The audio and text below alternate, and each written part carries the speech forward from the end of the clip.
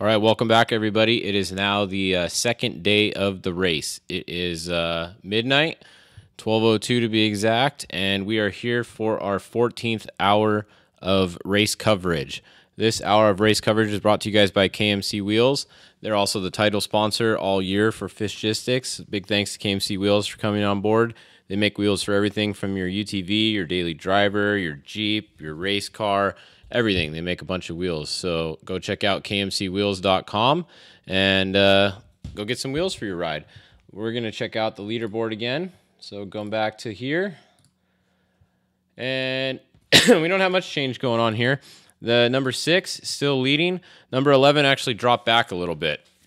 So I think Rob Mack or Jason Voss at this point is uh, playing it smart and just uh, drop back a little bit, knowing that he has – a uh, you know seven minutes or six minutes to be able to finish behind them. And he couldn't get around him it seemed like. We saw a couple videos we posted where he was right on the number six like literally on his bumper. And he wasn't able to make the pass so i think he did a smart thing and rather than try to push it uh, and have something stupid happen i think jason voss played the smart safe game which is jason voss style. And he's just hanging back behind the six he is uh, he is getting a bit of a gap though. You can see he's at 686 and he's at 692. So he's pulled a whole six miles on him, and uh, you know a few minutes ago he was six feet behind him. So he might be slowing down a little too much, or they might have an issue. I don't know. We'll see. So then we go come back, and Cameron Steele is back in the number 16 now. So Cameron's back in there driving himself, and in the 31 it's Tavo Vildosola. Tavo had a um, or yeah, Tavo's having a good run coming back. Uh, ever since he's been in the car, it's been pretty clean in his section. We haven't seen him stopped at all, uh, so haven't seen much there. If we come back down to here to the number seven and the 23, the seven Bryce Menzies with Toby Price driving now. They caught up to the 23 with uh, Gary Wyrick in there. They uh, the 23 had a flat, I believe. They were down for a few minutes, and the seven was able to gain some ground and get around them. So that's what's going on with those guys. Then uh, back here, we go to the 70, and that is Harley Letner in there driving the Kevin Thompson truck. And then the first legend class is the uh, Clyde Stacy entry with uh, Armin Schwartz. Armin Schwartz started in the car, I believe, because he qualified it. So I would assume Clyde is probably in the car now, or maybe a third driver. I'm not sure who their other driver was. Uh, and then Zach Langley, Alan Ampudia, and Robert uh, Robbie Pierce are your trophy truck guys. Oh, somebody said Toby is out, Bryce is back in. All right, well there you go. Bryce is back in the number seven. So uh, Bryce Menzies back in the number seven. Maybe that's why he was able to reel in Dan too. Bryce stepped it up a little bit and uh, put the pedal back down. Where Toby did a good job. He did a clean, had a clean run in his section. Didn't look like he had any problems. So good job to Toby Price. Uh, BJ Baldwin still coming along, still moving along. It's got to be Todd LeDuc in there by this point, I would think. Uh, race mile 600. Uh, Carlos Apdaly Lopez is still moving along. Uh, he's probably out of the truck, and there are other drivers in there now. Maybe it's his dad or uh, you know Pin. I think he might be in there. Then number 19, Tim Herbst. They had run out of gas or had a fuel line uh, get pinched earlier in the day. Took them a while to get that fixed in the San Felipe section, so that's why they're down, and they're still going. Let's go look at the trophy truck spec class. This update is brought to you guys by Baja Kits. Go to bajakits.com and check out the cool stuff they have. The leader in the trophy truck spec class is the 200. They've been leading pretty much all day. So the 200 still out front. We have Jason McNeil in second. He's racing with Jerry Larimore. Uh, I would assume Jerry's probably in the truck at this point. then the 232 is on the highway, so don't pay attention. The 232 blew their motor up a little while ago, so they're on the highway.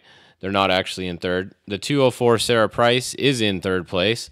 And then behind them is going to be the 218 of Chad Dorman. And it could be the or the 295 is behind them. 295 was leading a lot of the day, but then they got stuck in the silt. So look down here. This is the gnarly silt section. See all these cars, they're all at uh, 0 miles an hour, 22 miles an hour, 0, 16, 9, 0.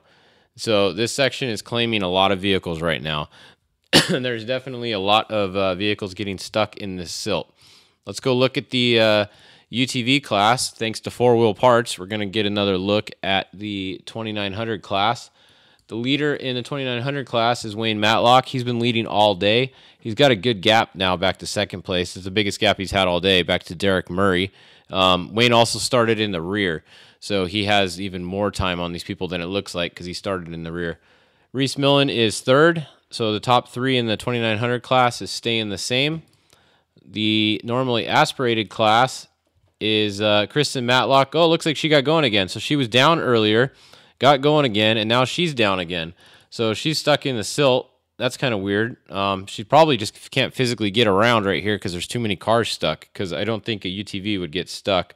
Wouldn't think they would get stuck in here. So she's probably just waiting her turn and trying to get around. So it, we have a race again in the normally aspirated. Look, we got four cars all within a few miles of each other. You got Caden Wells, Christopher Boyle, and Tyler Backus all coming on, uh, trying to gain on Kristen Matlock. So that's going to be a good race there again. Uh, it looks like. So let's see what uh, what other class you guys want to see. let's see what you guys want. Let me know. We're getting a little we're getting a little bit tired over here, but we're hanging in there. We're gonna stay here at least until the uh, probably till the trophy truck spec winner's done, or we'll kind of play it by ear. But definitely we'll be live for a few more hours. I'm still expecting the winning truck to probably be done in about two hours or so. Um, let's go look at class seven. Oh, this is kind of funny. The class seven. So we were talking earlier. Um, Pat Daly in the Jeff Proctor truck, he moves about 100 feet at a time, then he goes 1,000 feet, then he goes 100 feet, then he gets stuck, and then the 722 moves, then they get stuck, the 711 moves, they get stuck. Um, Dan Shamley was in there getting stuck earlier, but he's been uh, unstuck for a while, and he's starting to check out. So hopefully, uh, Pat Daly in the Jeff Proctor Honda truck can get unstuck relatively quickly, or he's not going to have much of a chance to run down uh, Shamley here. getting a little bit late in the race to try to run people down.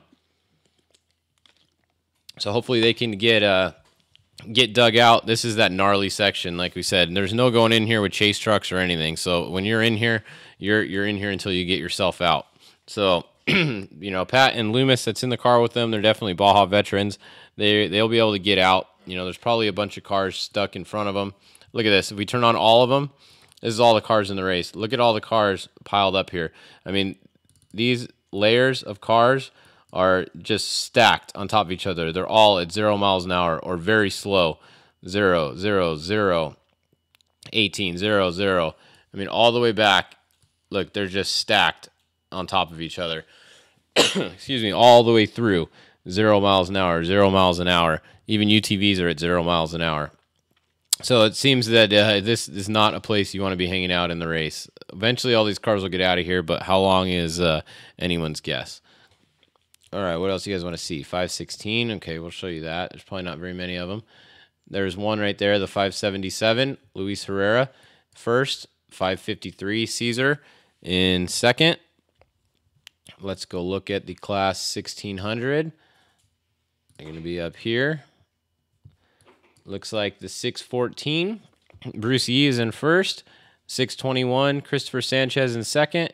Ernesto in the 618 is in third. So that's your uh, running order for the limited classes. Class 8, someone is asking about, they're pretty much the 827. Roger Malcolm's the only one still going. We have no idea where any of the other ones are.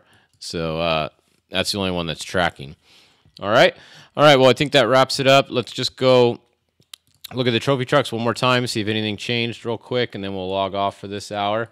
So coming back up to the top here, we have we have the number six at race mile 692, and then uh, let's refresh these. There we go. We refreshed it. All right, so they're actually up here. They're at 701. Rob MacCachren 693. so Rob Mack actually has almost lost 10 miles now. So Jason Voss, they're going to need to pick it back up. They might have an issue. He's definitely going a little bit slower than uh, what he should be right now. Cameron Steele is gaining on them quick. So Cameron and Andy both coming in hot, gaining on Rob Mack. Not sure what's going on there. So we'll keep an eye on that. It's the 6, 11, 16, 31, 7, and 23. One of those guys right there is going to win the race. We'll be back at uh, 1 a.m. for the next update. The uh, Trophy Truck 26 that you guys are asking about, they've been stuck forever um, down here. We haven't heard anything. Weatherman was trying to get a hold of them. Um, they've been sitting right here for a couple hours. So Dave Taylor is at mile 418.9. We have no idea what is going on with them. None of their team has talked to them yet. So uh, I don't know what to tell you on that one. Sorry, but if we get an update, we'll send a message out to the team because they are one of our Fishgistics uh, clients this race. So keep you guys posted. All right, thanks KMC Wheels. See you guys at one o'clock.